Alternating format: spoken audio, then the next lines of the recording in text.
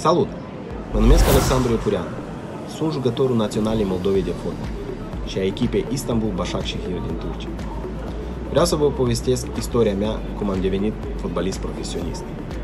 Totul a început în satul Cârpești, pe stadionul școlii, unde după școală noi cu prietenii ne adunam și băteam micea până în seară.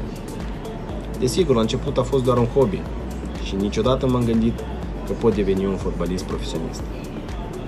Dar, datorită sprijinului tatălui meu și văzând cum fratele meu mai mare face primii pași în fotbalul profesionist, am decis să vin și eu în Chișinău și m-am înscris la școala de fotbal Zimă, unde ca antrenor mi-a fost Esi Nicolae Filipovici. El mi-a învățat multe, întotdeauna ne-a susținut și întotdeauna ne spunea că cu mare dorință și cu multă muncă poți obține orice în viață. Asta vă doresc și eu vouă. Să vă urmați visurile și să munciți foarte mult și orice este posibil. Vă doresc mult succes!